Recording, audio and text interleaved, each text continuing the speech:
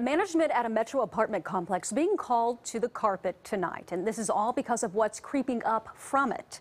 News 4's Peyton Yeager on the store. And Peyton, we're talking mold and maggots. Yeah, and the biggest shock, they've been living in these conditions for a while now. The apartment complex tells me it's under new leadership, hoping to fix the problem, but the tenants aren't buying it. I'm just telling you like it really, really is. It's wretched over here in these apartments black mold, an indoor waterfall. Oh my God. And I have maggots all over. Yep, even maggots nesting in the carpet.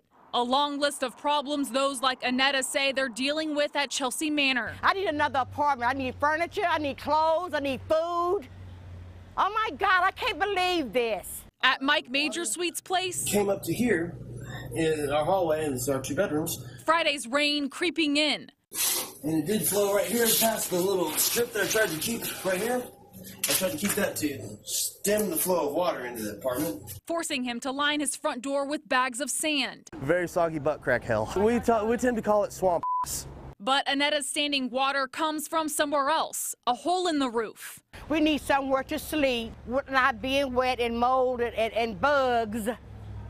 Oh, this is a depressing place. Oh, Lord have mercy.